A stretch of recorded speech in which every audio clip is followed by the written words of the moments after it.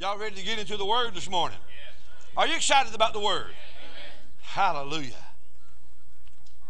Man, that blesses me. When I hear testimonies of what God has done and is doing, it just blesses me so much because I know that you're working the Word.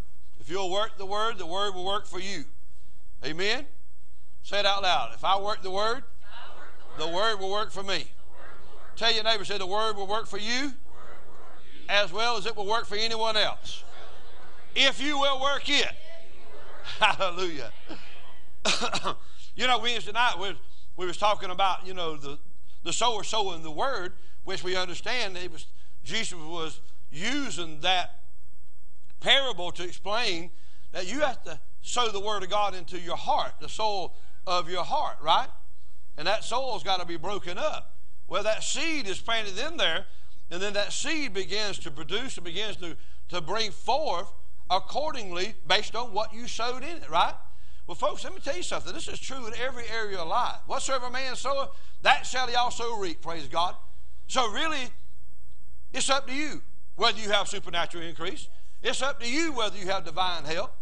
It really is. It's up to you whether you have peace and joy. It's not up to God. Go with me to Mark chapter 5, and let's read verses uh, 25 through 34. Mark 5, verse 25, the Bible says, And a certain woman which had 12 years, she had suffered many things of many positions, had spent all that she had, was nothing better, but rather grew worse. When she had heard of Jesus, came in the press behind and touched his garment, for she said, Everybody say, for she said. If I may touch but his clothes, I shall be whole. And straightway the fountain of her blood was dried up. She felt in her body that she was healed of that plague. Jesus, immediately knowing in himself that virtue had gone out of him, turned him about in the press and said, Who touched my clothes? His disciples said to him, Thou seest the multitude thronging thee, and sayest thou, Who touched me? He looked around about to see her that had done this thing. But the woman, fearing and trembling, knowing what was done in her, came and fell down before him and told him all the truth. And he said unto her, Daughter, your faith has made you whole. Go in peace and be whole of thy plague. Now, today we're continuing in our series on miracles on demand. This is part seven. I told you, and uh, if you still got the notes, you can put them up there for those that might not have been here. We're not going to go over it again. But number one, you got to have the God kind of faith. You got to have the faith of God. Remember Mark chapter 11, we read it last week where Jesus talked about he spoke to the fig tree. Peter noticed the, the next day that the fig tree that Jesus had spoken to was dried up from the roots, and Jesus had said, Have faith in God. The Greek says, Have the God kind of faith, or have the faith of God. And then I shared with you, number two, how critical it is that every one of us learns how that the kingdom of God operates. You need to learn how the kingdom of God operates. I'm telling you, folks, it's just like going to a new country, a different country. If you go to some countries and drive on the same side of the road that you drive here, you're going to get in trouble. Amen? You may have a wreck. You may get pulled over and locked up. They may think you're drunk for driving on the wrong side of the road. Yeah, but I'm driving on the right side. Well, we don't drive on the right side here. We drive on the left side. You got to learn the laws of that country, of that kingdom, right? Same thing is true. You were brought out of the kingdom of darkness. You were uh, delivered from that, brought into the kingdom of God. The kingdom of God doesn't operate in the kingdom of darkness. Satan is the God of this world, this world system. You grew up in a world system. And as bad as I hate to say it, many of our parents taught us a lot of stuff, even though they meant well, they loved us, did not agree with the kingdom of God and how it works. Many of us were taught save and rake and scrape. That is the kingdom of darkness philosophy. That didn't come from God. Amen? Amen. Jesus said, Give, and it'll be given unto you. Pressed down, shaken together, running over, shall men give into your bosom. Now, here we find, and I, let, me, let me say this to you before I go any further to number three, because we didn't get to number three last week. But I want to get to it in just a moment. But I told you that, you know, I don't want to just experience supernatural increase and blessings and favor for myself and our children and their children. I want every one of you to experience it. I want you, as we sing, to experience the goodness of God. Amen. Amen? The goodness of God. Think about that. It's the goodness of God that leads men to repentance. It's the goodness of God that causes people to think differently. God is dealing with your heart.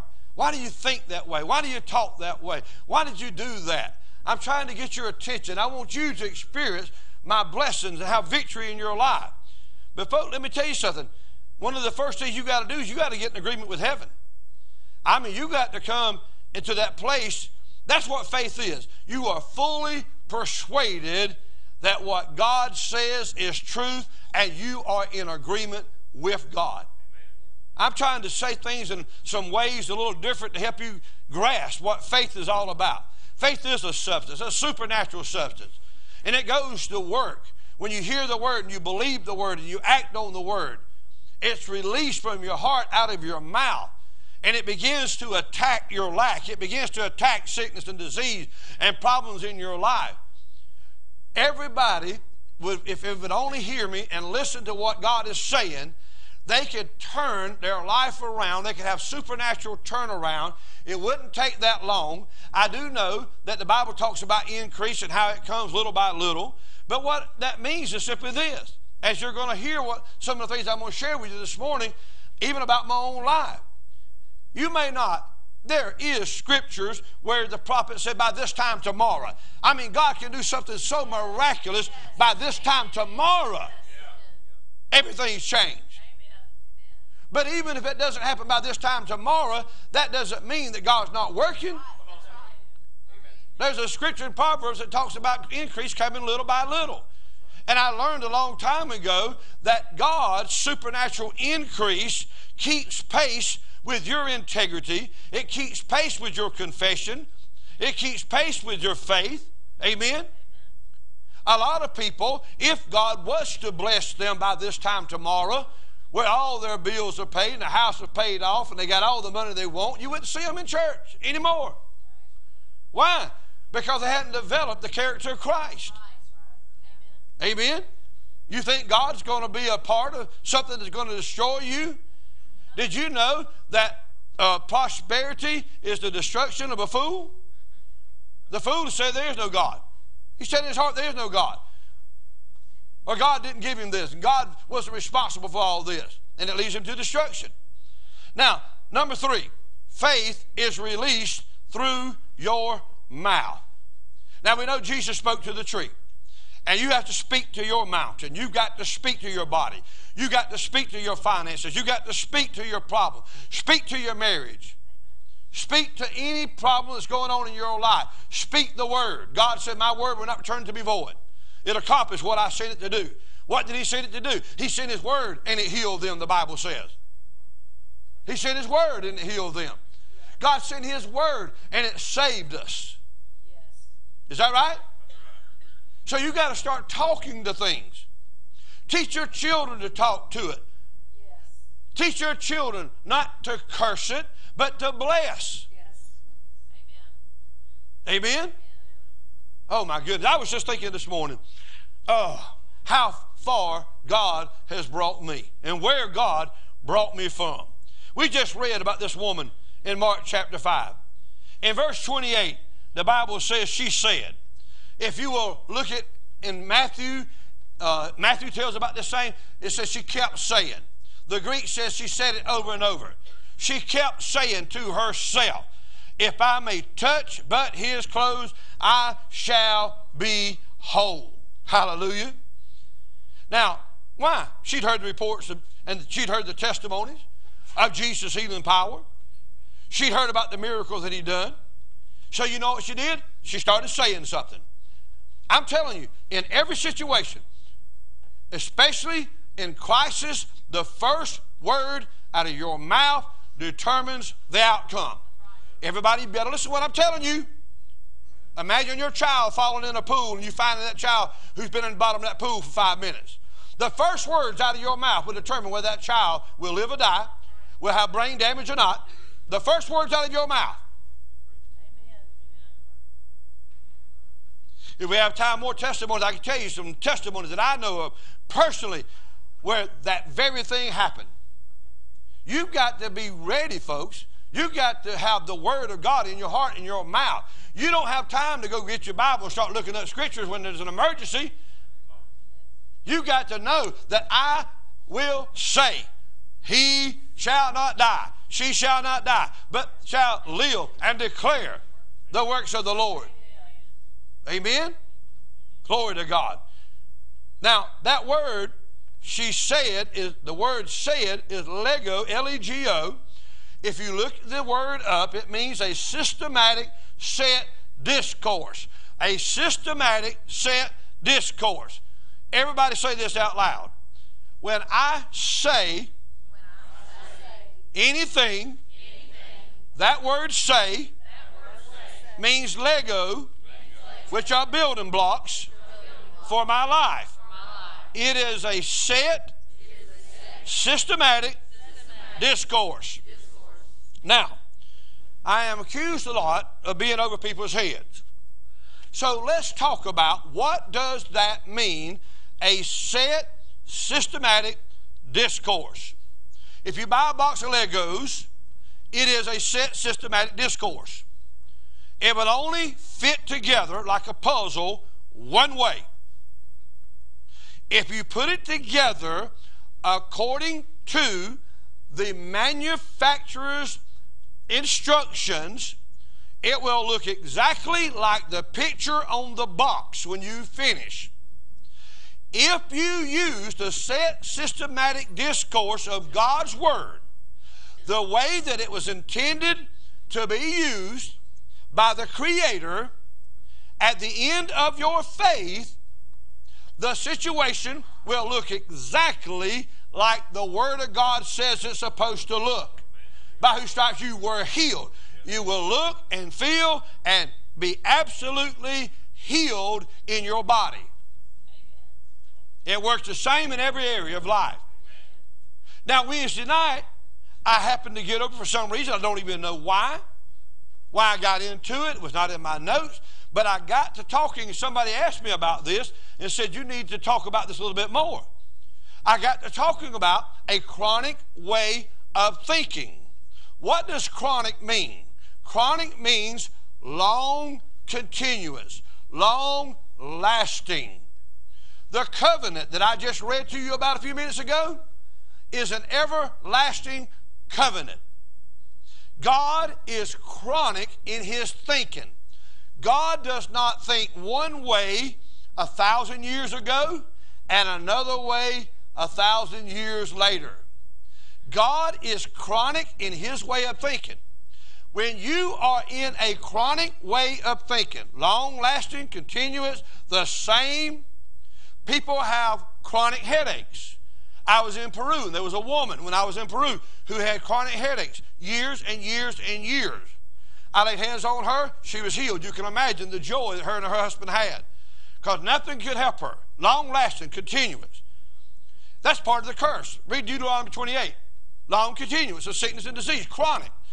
People have a chronic way of thinking. When you have a chronic way of thinking, you are in a creative mode. As a man thinketh, so is he. You're opening the door by your thoughts. You're opening the door by the way you think. Whether you can be wealthy, whether you can be healthy, whether you can have joy and peace, a good marriage, blessed children, live in victory, or, listen to me, by that chronic way of thinking, you may continue to live under the curse. There's a lot of people who live under the curse, even though they're born again. They might not be under the curse of spiritual death. They're not because they've been born again. They passed from death into life. But y'all listen to me. We were singing about being redeemed this morning, right? Galatians 3:13 says Christ has redeemed us from the curse of the law. What is the curse of the law? Let me break it down for you. Spiritual death, that means you are lost in sin. You are separated from God. But most of us here, at least, I think everybody's born again. You're not separated from God. You're one with the Lord now. You have eternal life. His life, His Spirit lives on the inside of you. You have a relationship with God, right? But yet, He redeemed us from more than just spiritual death. He redeemed us from sickness and disease. The Bible says in Matthew 8 17, himself took our infirmities and bear our sicknesses. 1 Peter 2.24 says, by whose stripes you were healed. A lot of people that are saved still have sickness and disease. Why? Because they are ignorant of that fact. My people are destroyed for lack of knowledge. Their mind has not been renewed. Therefore, they have the old chronic way of thinking that's been that way all their life. Why? Because they inherited from their ancestors. But did you know that Peter said you've been redeemed from that no good, empty way of life passed down to you by your ancestors, your fathers and grandfathers? Huh? Yes. Did you know that? You've been redeemed from that way? But you know what? It's up to you to break free from it. See, if you still think that sickness and disease is a part of life, and I'm going to get it because everybody else has got it, and I was in the room with, with somebody that had it, therefore I've got to get, have it as well, well, you're going to get it. Right? Like the woman she was talking, the, the person she was talking about. Everybody's going to get it. No, they're not. Everybody's not. That's, right. That's like saying, because you had a chronic way of thinking about sin passed to you by your parents and grandparents and the church you grew up in, where everybody sins. Well, that makes you feel better, doesn't it? Well, if you're sinning and you're sinning and you're sinning and you're sinning, well, then I don't feel so bad about it because everybody else is doing it too. So I'm just joining the club. That is a chronic way of thinking that is contrary to God's thinking. Because God says you've been made free from sin. You've been set free from sin. You don't have to sin. I write unto you that you sin not, the Bible says. Y'all getting this? Just because Christ redeemed you from it doesn't mean that you're free from it. Because you have not accepted your freedom yet. Listen, not only did He redeem you from spiritual death and sickness and disease, but He redeemed you from poverty. He redeemed you from lack. But you cannot, listen, you cannot be transformed from something that you have conformed to the chronic way of thinking of poverty and lack and barely getting by from paycheck to paycheck, that is a chronic way of thinking that continues to create lack and need in your life.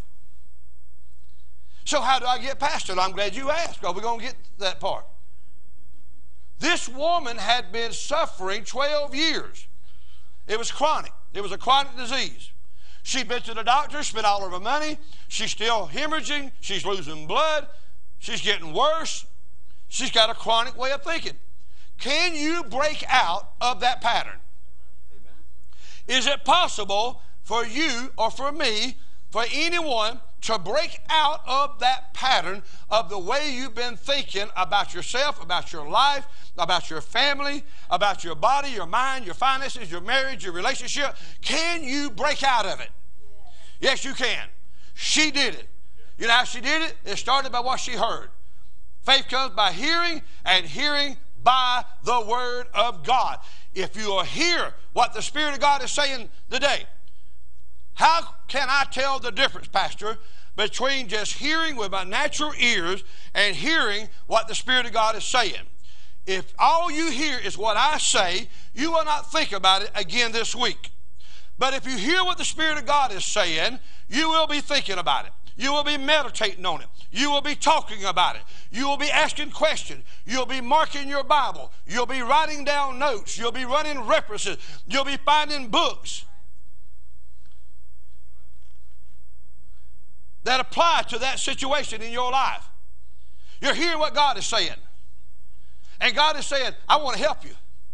I want to bring you out so that I can bring you in. That's what He did with the children of Israel. He brought them out brought them out of Egypt to bring them in to the promised land. Amen? Hallelujah. Remember, faith is released through your mouth. This woman said, you know why?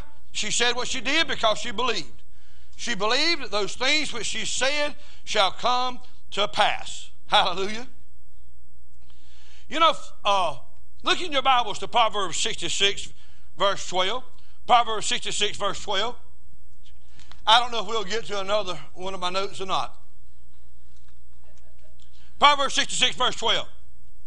How many here have been through some hard times? Raise your hand if you've ever been through a hard time. Come on now. Well, I'm glad. I'm going to go back here and sit with some of you folks that ain't never been through a hard time. I'm going to let you preach. Which one of you didn't raise your hand never been through a hard time? Because I want y'all to take my place. I'm going to sit down. I've been through some hard times. I can tell you something else. And y'all know, y'all know that daddy loves you, right? Come on now. You don't have a whole lot of spiritual fathers. You got a bunch of teachers, but I love you. I love you too much that you sit there and nod off and, you know, let you just mind, just daydream all over the place. That was about half of you. You didn't even know I asked a question just then.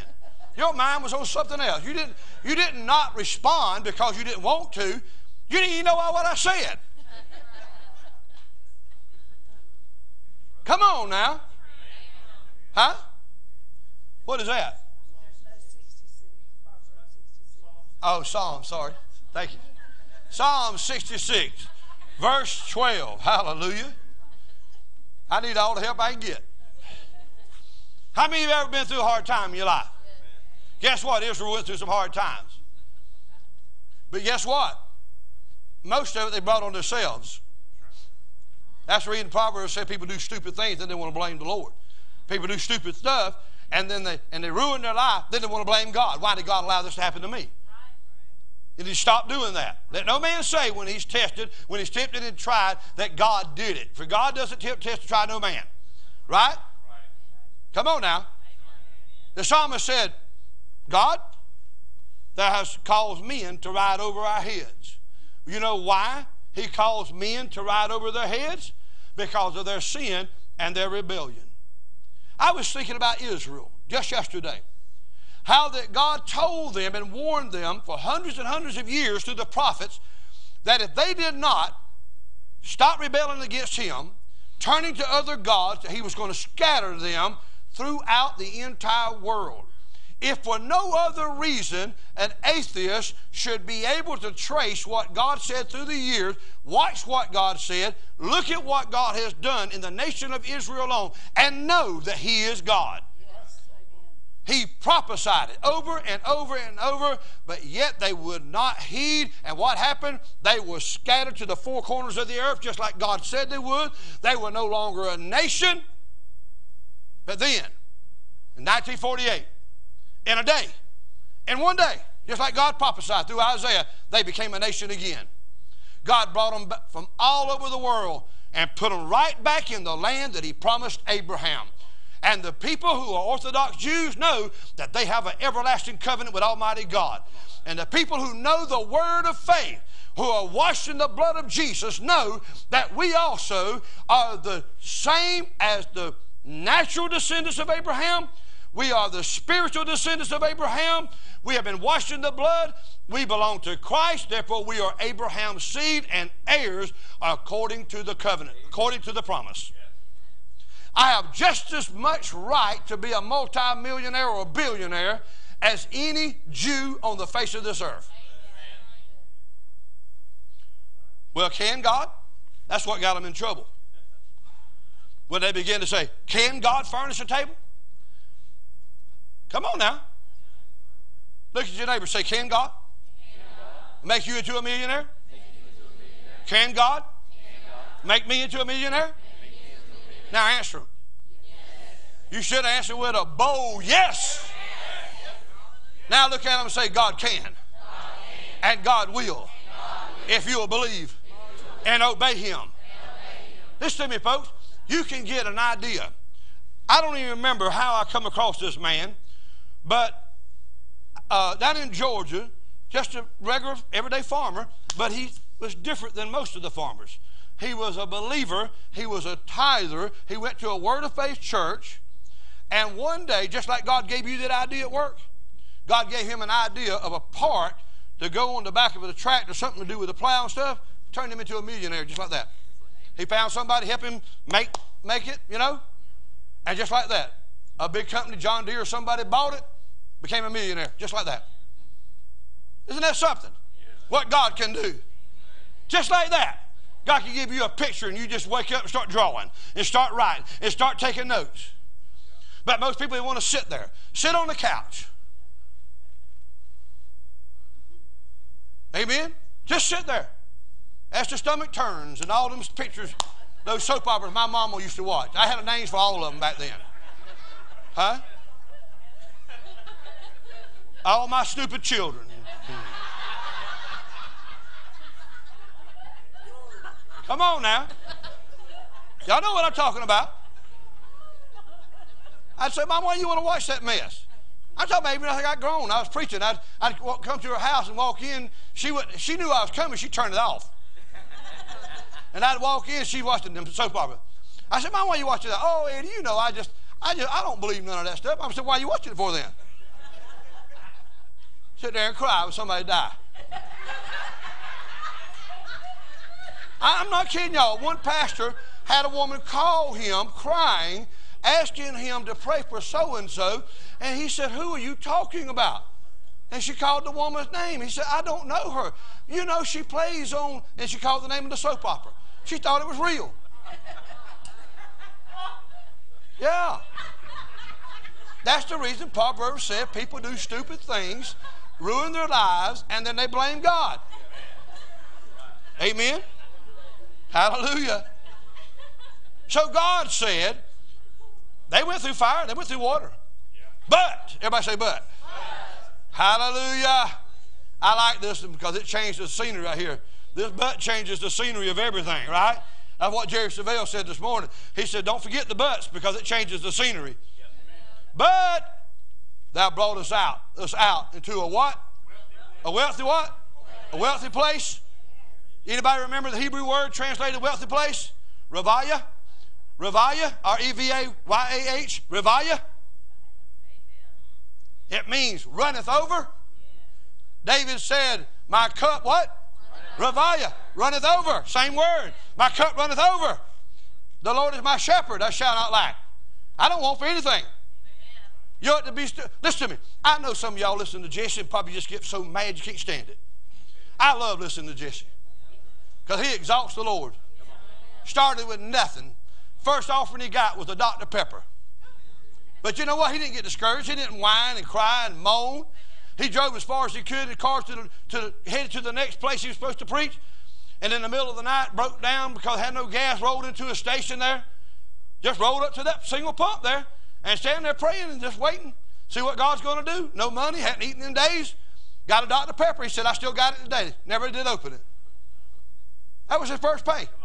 That was the first offering from a church. And a man pulls in in a truck. They start, he said, You go ahead. No, just said, Yo, you go ahead. And so he struck up a conversation. What you doing out here in the middle of the night? Well, Jesse wound up having to tell him that he had preached. He said, Where did you preach? And he told him, he said, That's the town I live in. And what church was it? He told him he knew about the church, didn't he? And he started cussing. Jesse said he was a cussing angel. You mean tell me you preached to that church, they didn't give you an offering? And went to cussing. And pulled out a big old wad of money and gave him $700. What year did I tell y'all that was in? 1970 something. Huh? 50 something, wasn't it? 70, yeah, 77. Gave him $700. The man in the store comes out and said, I got a bunch of popcorn here. You want some of this? And that guy said, You go in there and get whatever you want. Now, gave him $700. But now here's Jesse. Jesse's like, Lord's my shepherd. I don't want for anything. I don't lack for nothing. Why? Because he's my shepherd. Is he your shepherd? Is he not just as much your shepherd as he is Jesse's? Or Jerry's or Kenneth or anybody else's? He's your shepherd. Does the shepherd love them more than he loves you? Does the shepherd have favorite sheep? Come on now. You do understand that if he was a crooked shepherd, he'd have favorite ones. And he'd show favoritism. But he's straight. He's straight as an arrow. Hallelujah. They're crooked under shepherds and pastors of churches, and they show favoritism. I've had people get mad at me about it because they gave more money than most people and wanted me to show them favoritism, and they wanted to have a say so and try to tell me what I should do. And I let them know real quick like, I treat everybody the same. Jesus is Lord. He's the chief shepherd of the church. I'm his under shepherd. Amen. I only say what he tells me to say and do what he tells me to do. Amen. And if they don't like it, they can just go. And a lot of them went. Amen. Because they didn't like it. I want you to know God loves you just as much as He loves me or anybody else. He'll do the same for you that He's done for anybody else. I'm telling you, He'll bless you. Listen to me. He'll give you a whole chain of shops. Glory to God. You hear what I'm saying to you? He'll Give you new ideas. He'll give you new businesses. You'll be an entrepreneur for God, a millionaire with an H E I R on the end of it. An heir of God, a joint heir of the Lord Jesus Christ. Hallelujah. Now, the NASB says a place of abundance. The NLT says you brought us to a place of great abundance. You know, years ago, I wrote in my Bible, in the front of this Bible right here. Somebody's already claimed this one.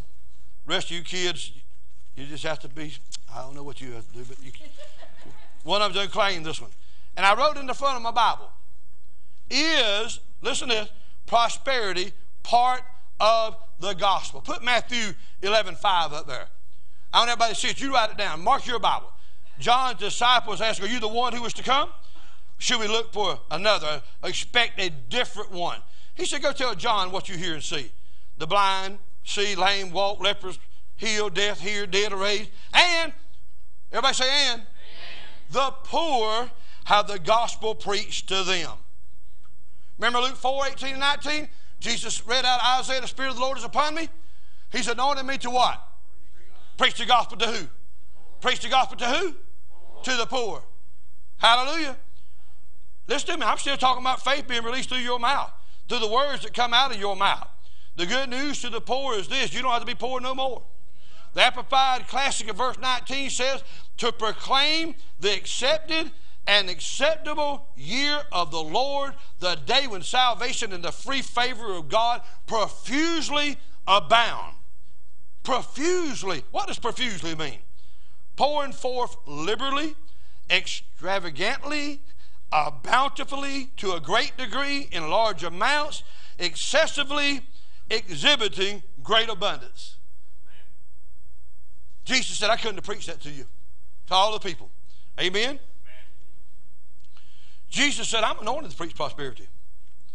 And as humble as I can say it to y'all, listen to me. God has anointed me to preach prosperity to the poor. Amen. To anybody who will receive it. Yes. Back up Psalm 65, verse 11. Psalm 65, verse 11. Because how many of you know that there's still a lot left for this year? Don't wait till next year. Quit putting off. Quit putting things off. Faith is now. Faith is right now. Thou crownest a year with what? With your goodness. And your paths drop what? Everybody say fatness. Oh my goodness, my goodness. Fatness, the word, Hebrew word, deshen means abundance. Orthodox Jewish Bible says your paths drip with plenty. The web says your carts overflow with abundance. God's word translation, richness overflows wherever you are. Is he here? Richness overflows wherever God is. Is he with you? Yes. Didn't he say, I'll be with you always? Yes. Richness overflows everywhere he goes. Amen? Amen. I said, richness overflows everywhere. Yes. Hallelujah. Oh, God is good. Mm-mm-mm. Now, I'm just telling y'all right now, I'm expecting the anointing to prosper, to get on somebody today. I'm expecting the anointing to prosper to get on somebody. Who's it going to get on? Who's going to allow the anointing to prosper to get on them? Amen? Y'all realize how much money is out there in the world? I don't have time to go into that right now, but let me just tell you right, that, right now. The problem is most of us with the world. We're in it, but we're not of it. Amen? Amen? And God wants to get it in our hands. So let's just keep this thing real, okay? Now, I grew up poor, as everybody knows. You've heard my testimony. You know I grew up very poor. Holes in the floor, no indoor plumbing. Uh, my dad was poor. As far as I know, his parents were poor, and probably his parents. I don't know how far back it goes, but I know it goes way back. We grew up in Wilcox County. My wife and I both grew up in Wilcox County. There's 159 counties in Georgia. With, listen to me carefully, with one being the wealthiest county and 159 being the poorest county, Wilcox is listed as 156. There's only three counties poor in the entire state of Georgia than Wilcox County where we grew up. The average per capita is $13,000. uh, the average household salary is 31000 a year. Average household salary in, jo- in Wilcox County, 31000 a year. Huh? Y'all were way above average. Yeah, y'all were way above average. People that worked at the, at the base, they were way above average everybody else. Her parent, her, her, her dad and uh, others that he rode with worked at the Warner Robins Air Force Base, same place that uh, Brandis's mom and dad worked at. Now, listen, God wanted to change some things because you know I can relate to people being poor.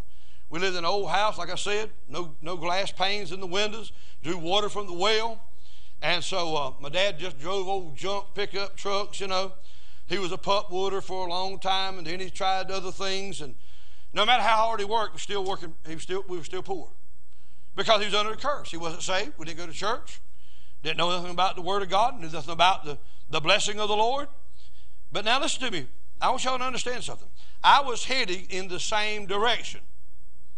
I was headed in the same direction. Thank God for Jesus. Amen. Amen. Cycles. Everybody say cycles. cycles. I, want, I, want, I want everybody to get a hold of this.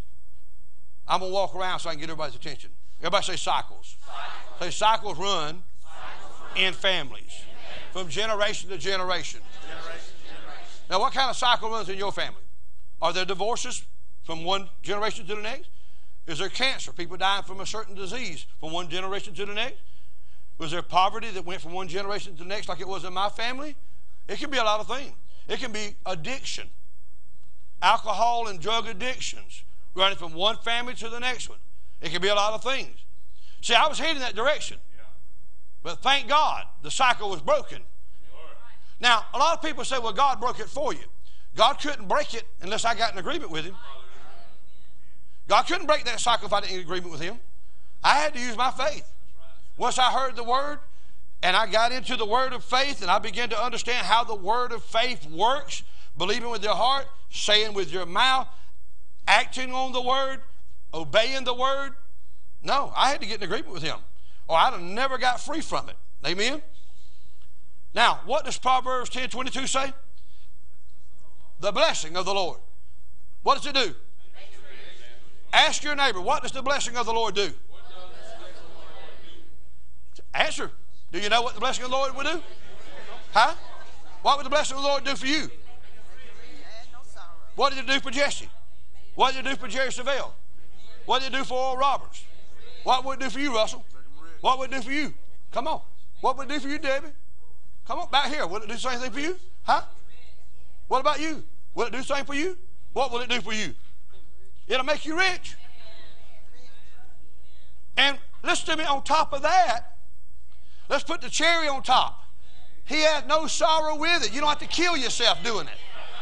You don't have to lose your family while you're doing it. You can enjoy life. He gave us all things liberally to enjoy, Timothy said. Paul told Timothy, all things liberally to enjoy. Are you enjoying it? Are you enjoying life? See, a lot of people, they allow the devil to deceive them. They think that they're not enjoying life if they're not partying.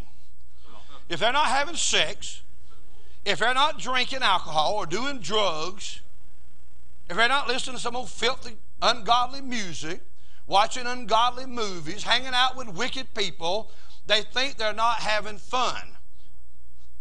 God says, listen to me, I gave you all this stuff liberally, extravagantly, to enjoy it. And in case any of you young people, especially, older people, you ought to hardly know. You done tried it, got t-shirt, everything. And you know. They lied to you. Somebody told you a lie. Because you ever woke up with a hangover, you know what I'm talking about, throwing your guts out. It's not fun. Amen? In the world full with drama, fussing and fighting with your husband, your wife, your children. Come on, folks. And besides all that, the sorrow that comes piling on top of divorces and loss of children, loss of lives, and poverty and sickness and disease. Well, just know this God doesn't want you to be poor. God wants you to be blessed. He wants you saved, healed, whole, full of peace and joy. Amen? Yeah, my dad said he was cursed. He knew he was cursed. I don't know how he knew it, but he said it all the time. I feel like I'm under a curse. You know what one of my dad's favorite songs was?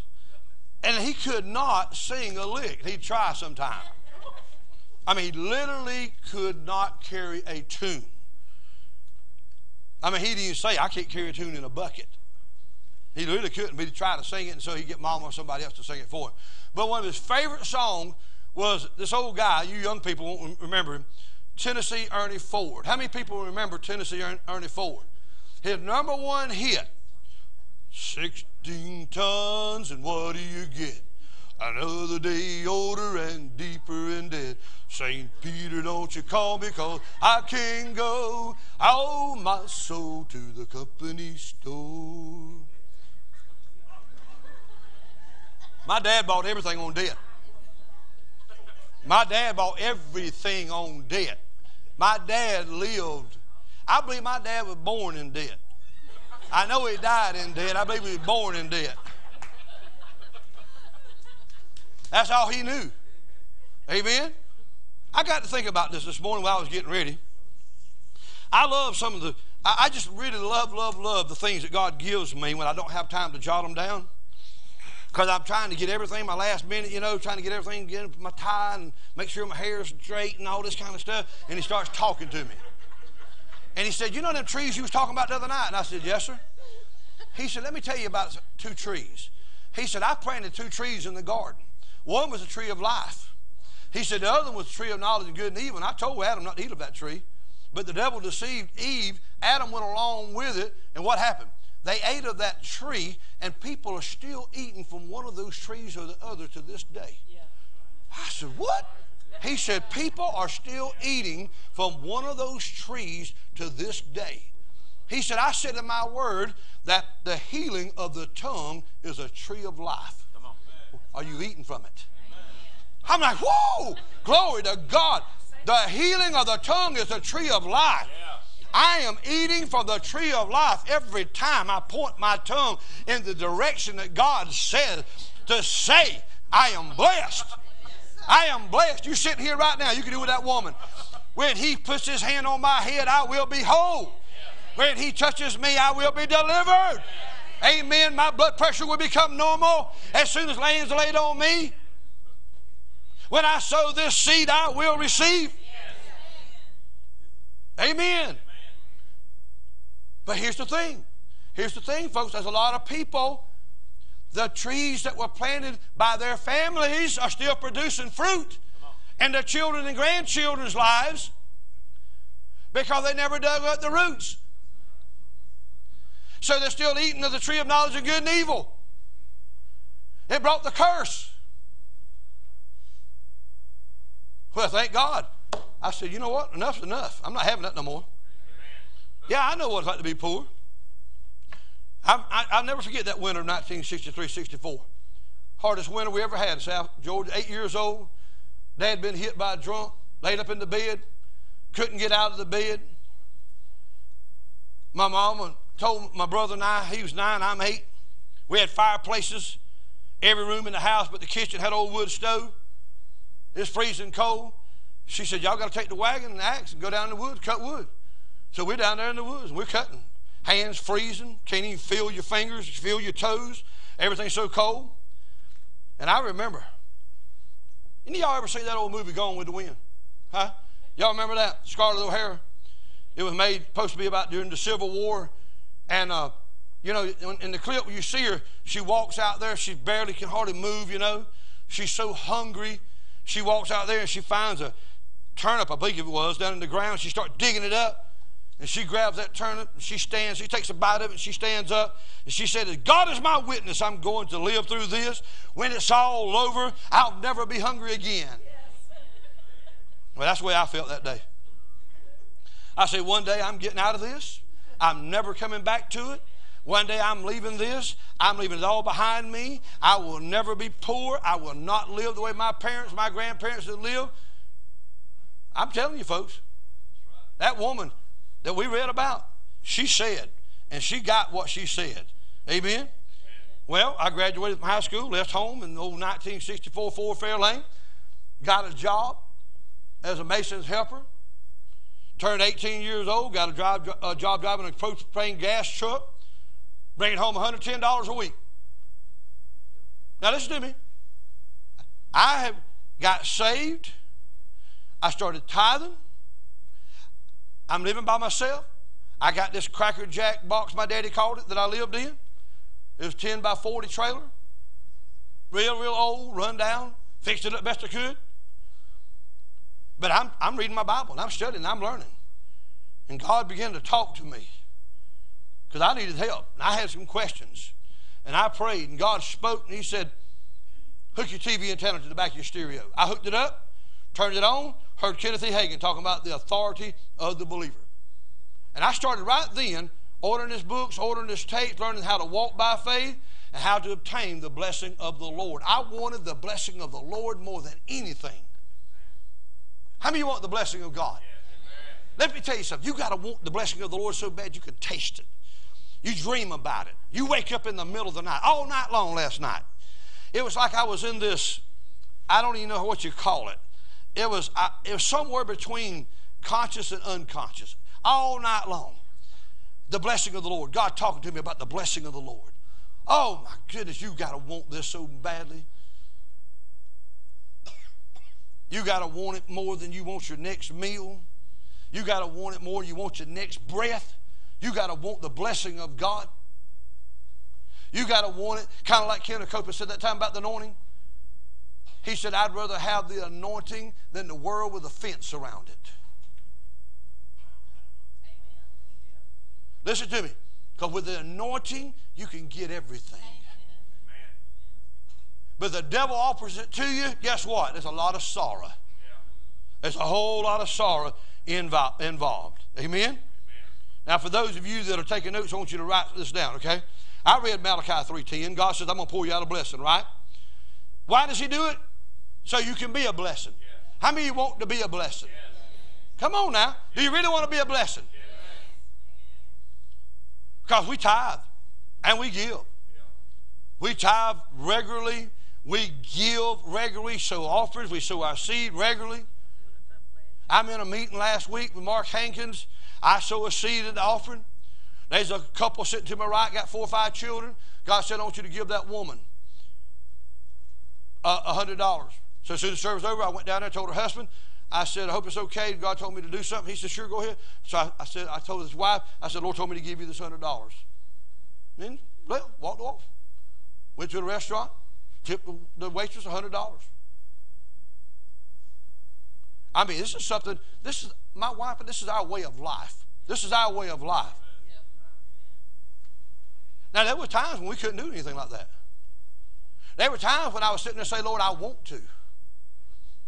I found notes when you and I were in the meeting in Alabama in 2005, I believe it was. And Ross Roberts was preaching one of the services, and then he came over here and preached.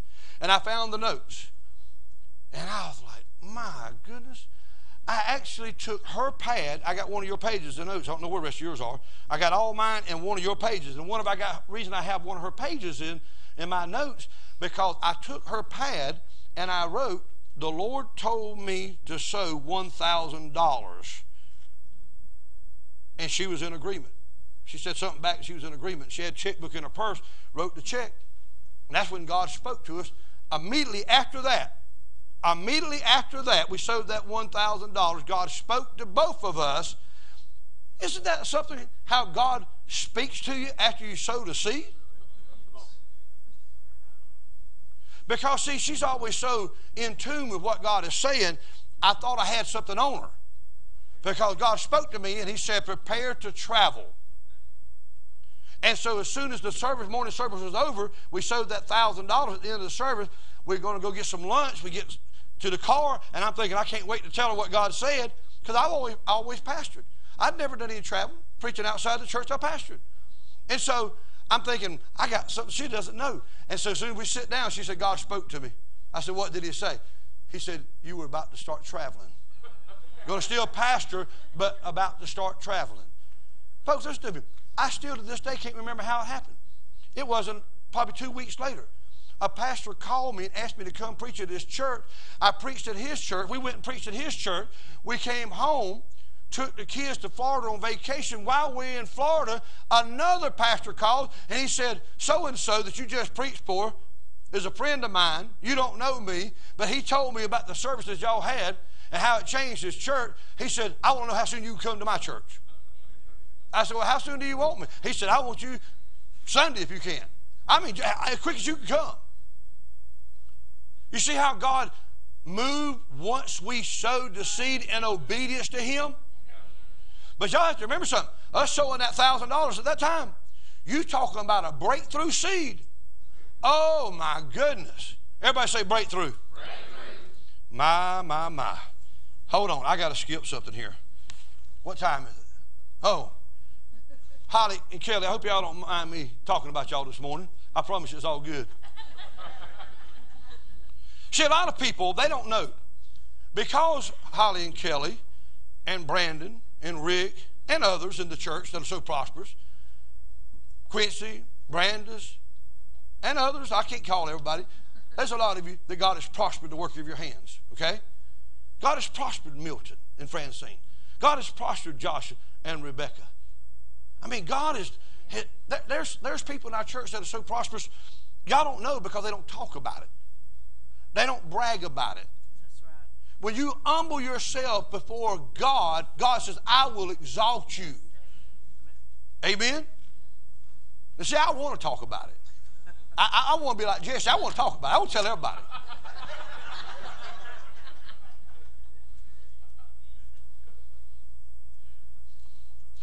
See, y'all don't know this, but in the early 2000s, uh, the prophetess, Mary Frances Varallo, was here.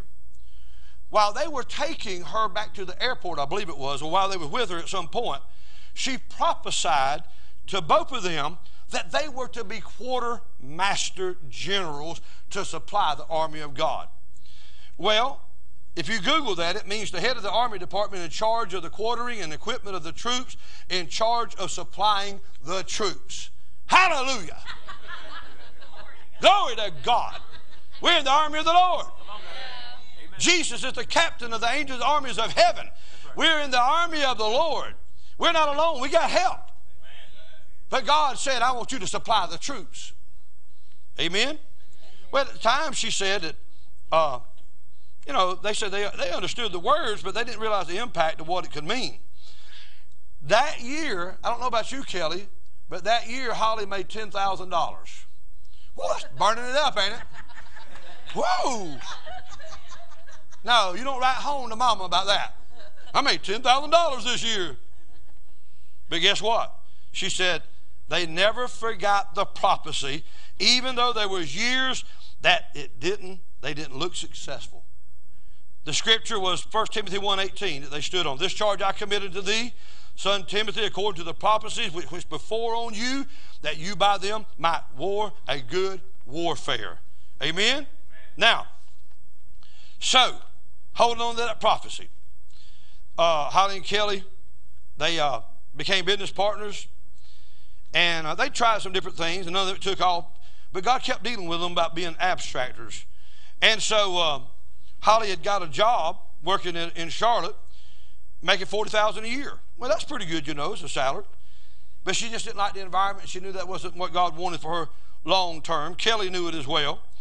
Kelly had a few uh, clients, but they just kept praying and seeking God. Holly said she learned, she saw things on a bigger scale uh, while she was working there, you know, a bigger way of doing things. Well, in June of 2012, she quit her job. Her and Kelly started Precision Title and um, they rented the office and they started, you know, contacting different companies. Kelly had a few clients, like I said, but it really wasn't enough to support them. And uh, they did pick up a couple more.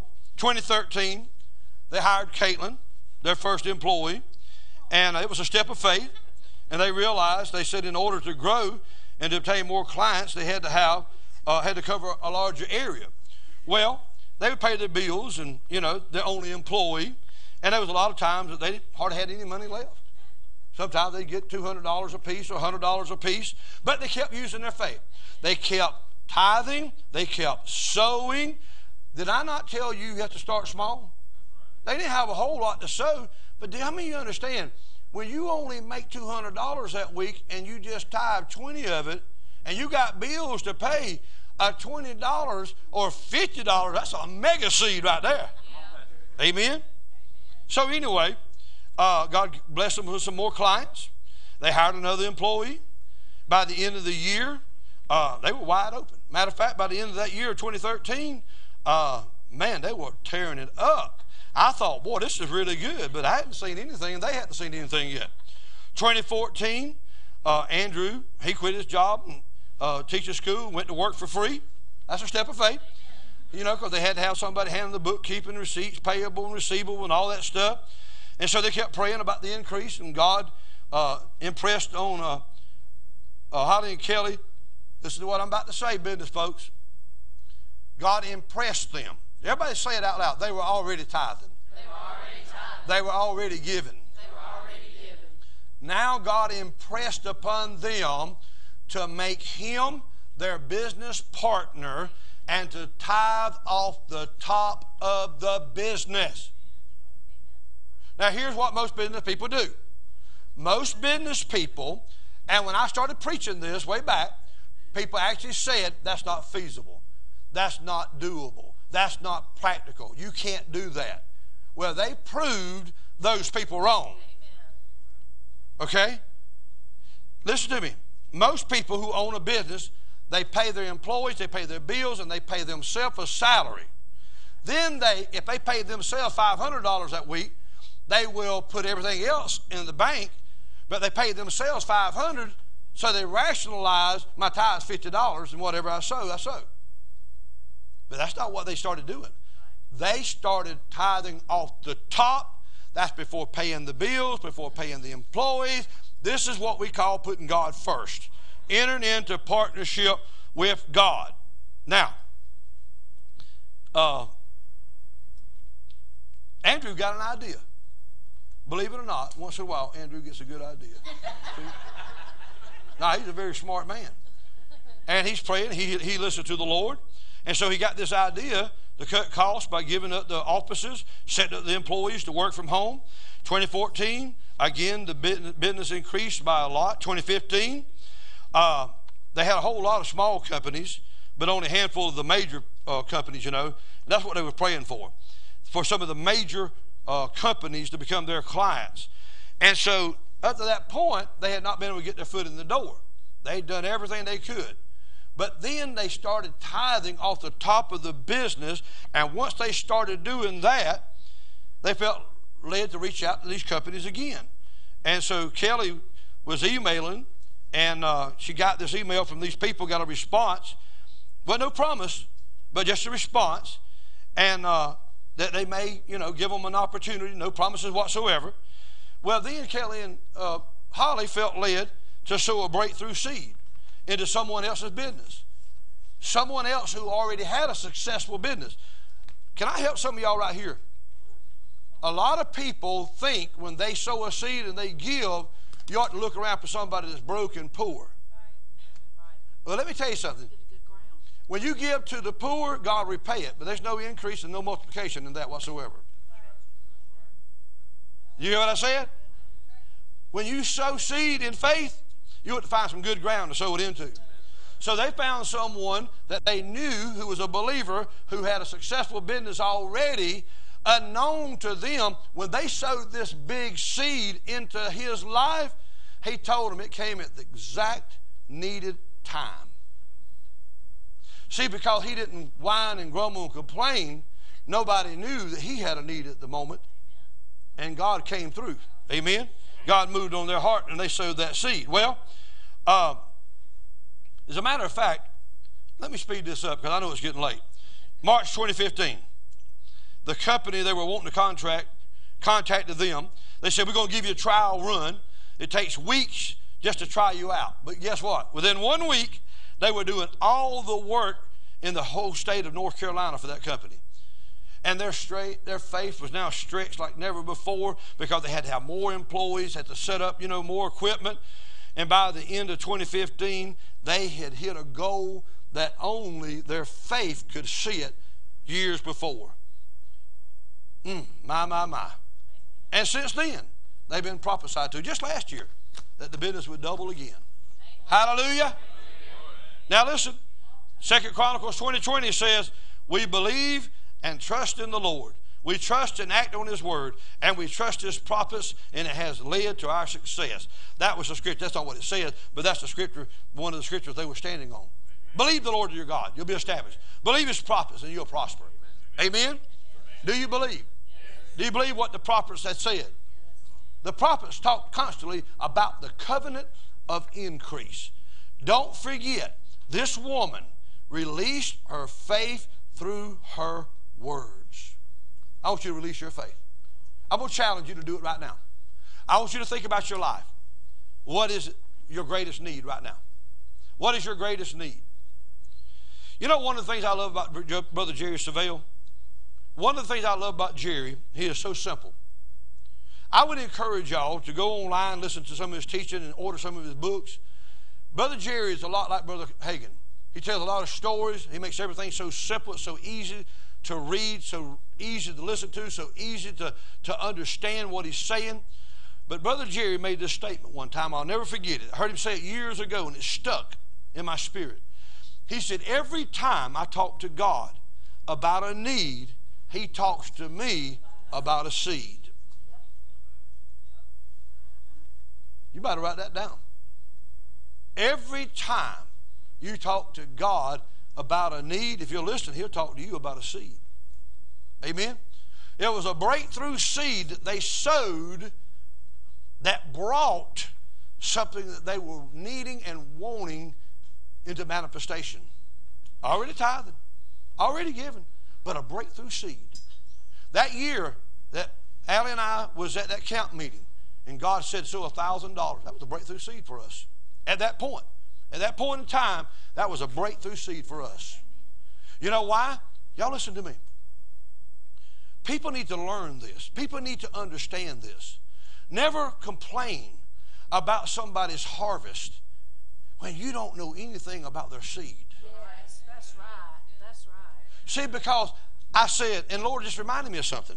Now, that was in 2005, 15 years ago, we sowed that, and it was a breakthrough seed for us at that time.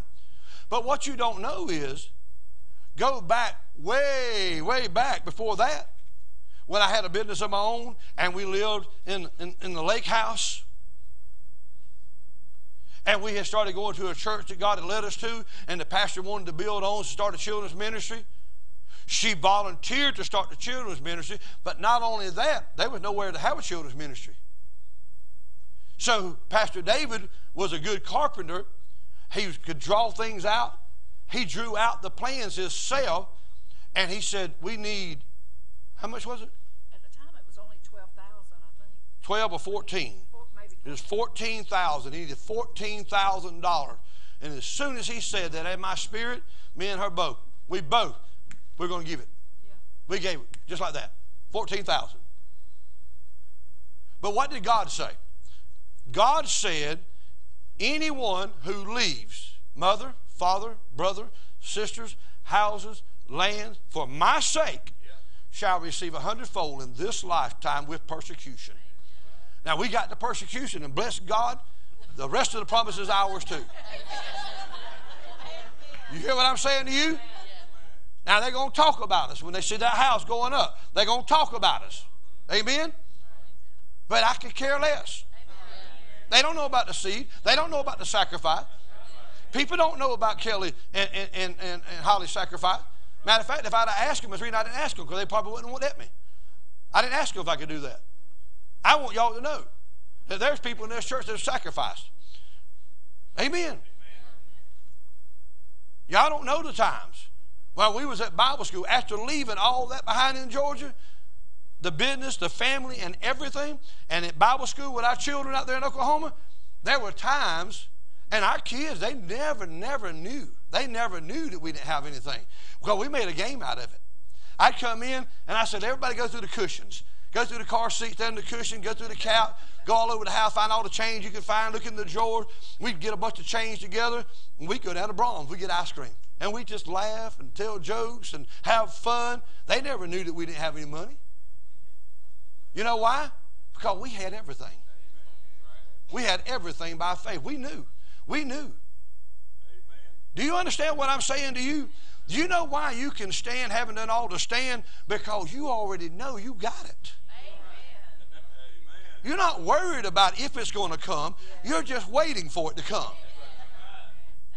I'll never forget. It only happened one time. We went out there for me to go to school. Then the Lord said that she's to go. She didn't even tell me. She said, I didn't want to put extra burden on you. I said, God said it. He'll provide. So the second year, she went. I sat out. Third year, we went to school together.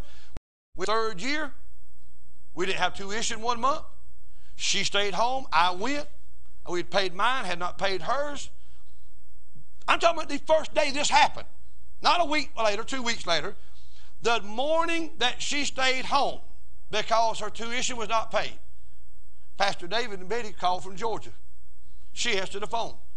You know what he asked her? What are you doing home? Is that not funny? What if I called Milton this afternoon? He answered the phone. I said, Milton, what are you doing home? What he think? That's, are you crazy? You call me. What do you mean, why am I doing home? This is where I live. No, no, no, no. Listen to me. He said, the Lord told me to call. He said, your tuition is already paid. He didn't even ask her why, what's going on and nothing like that. He said, I already know. He said, God told me. He said, I've already called over to the school. Your tuition paid. You can go back to school in the morning. Because I'm going to tell y'all right now, if God can't provide, I'm going fishing. You hear what I'm saying? But my God is a provider. And my God shall supply all of your need according to his riches in glory by Christ Jesus. Do you believe it? Stand up and give the Lord a shout right now. Hallelujah. Glory to God. Glory to God. Glory to God. Glory to God. Hallelujah. Oh, thank you, Lord. Now, if you want to accept what I've talked to you about today, I'm going to give you a challenge.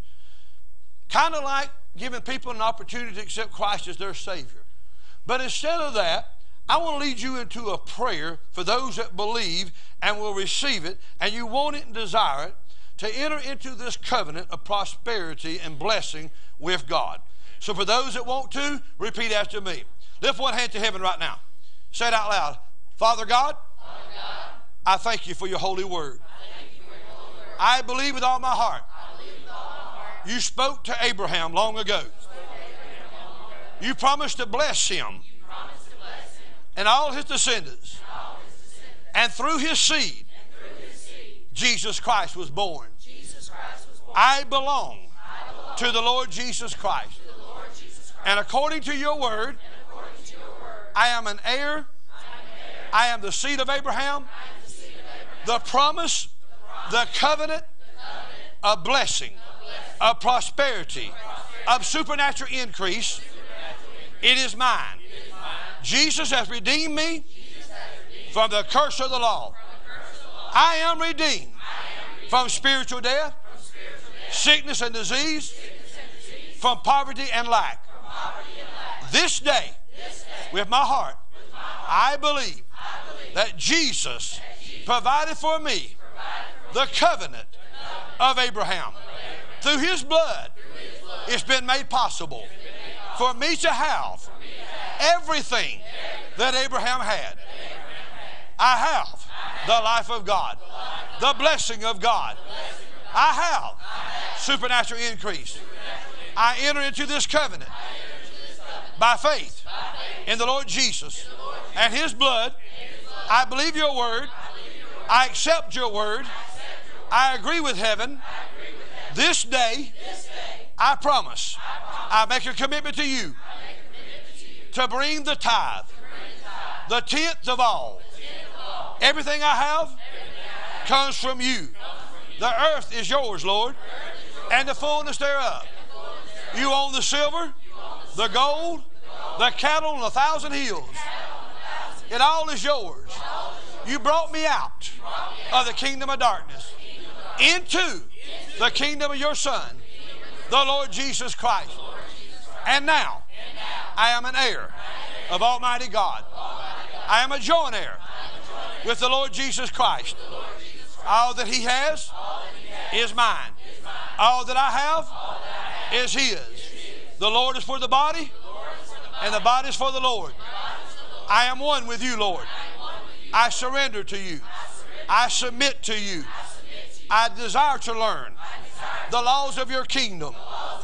I thank you, Father, for giving me understanding of the law of the tithe, the law of seed time and harvest.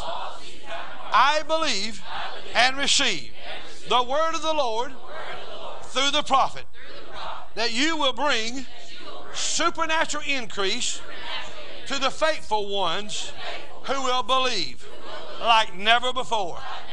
I receive it. I yield all to you. Bless the work of my hands. Increase me more and more. I ask you, Father, bless me so I can be a blessing. Your blessing makes me rich. Has no sorrow to it.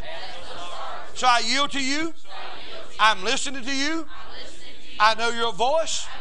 I'm led by your Holy Spirit. I believe that you will give to me visions or dreams, ideas, new concepts, new doors, opportunities, promotions. They are mine. I believe I receive it. And this day forward, I choose to walk in the covenant of supernatural increase.